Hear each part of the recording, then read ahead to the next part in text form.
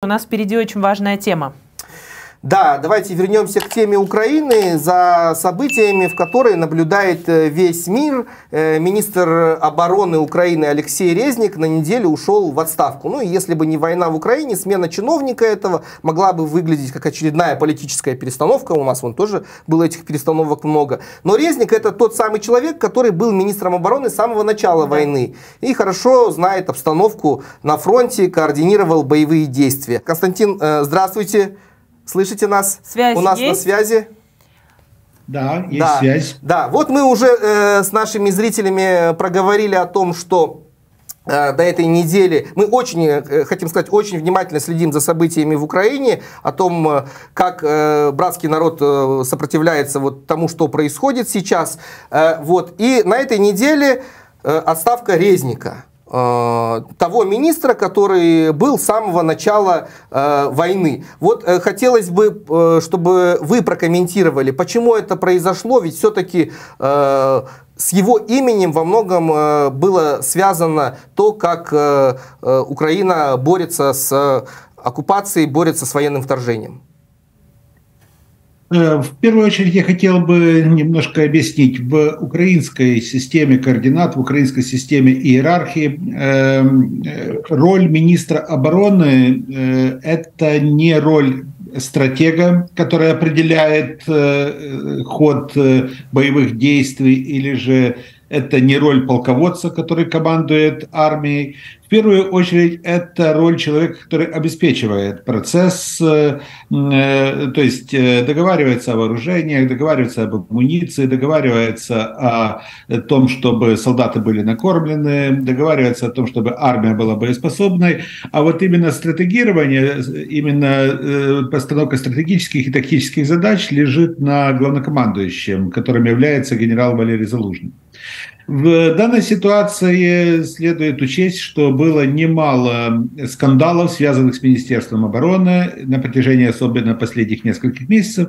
И, соответственно, под грузом всех этих обстоятельств, всех этих обвинений Алексей Резников ушел в отставку. Да, ему поблагодарили за то, что он наладил боеспособность армии в самом начале, в самом начальном периоде войны. Да, ему поблагодарили за то, что он установил связи с э, партнерами, и благодаря ему состоялось э, несколько десятков раундов э, переговоров с Соединенными Штатами, Великобританией, Германией и другими государствами, которые поставили Украине оружие. Но, очевидно, сейчас происходит смена Э, караула, очевидно, что пришел новый человек, который по-новому будет руководить э, ведомством. А что народ Украины, руководство страны ожидают от э, нового министра Рустема Умарова? И почему именно он? Народ Украины мало ожидает. Народ Украины, скажем так, ожидает, чтобы был коренной перелом в войне. Народ Украины ждет победы, ждет мира.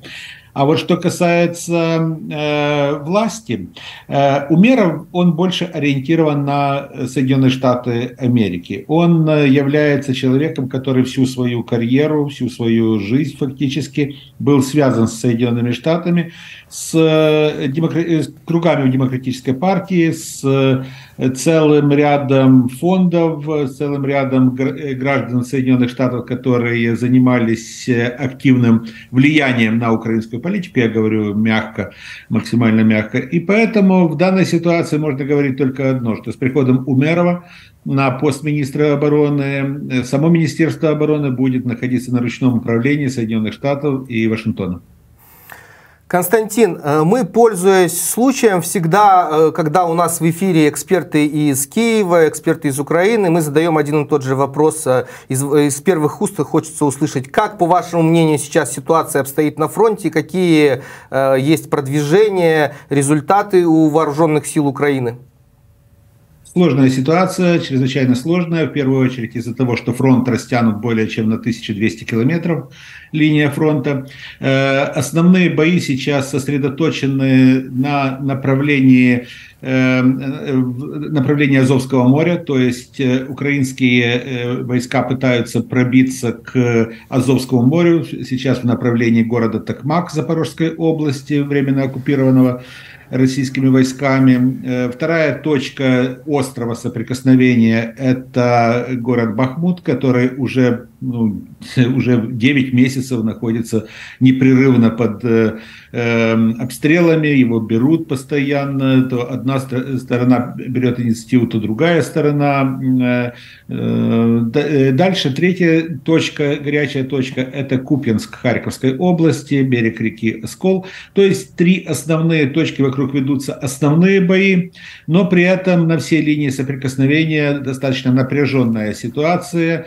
Эм, сказать, что существует грандиозный прорыв украинской армии невозможно, потому что э, очень сильные фортификационные сооружения выстроили россияне в Запорожской, особенно области.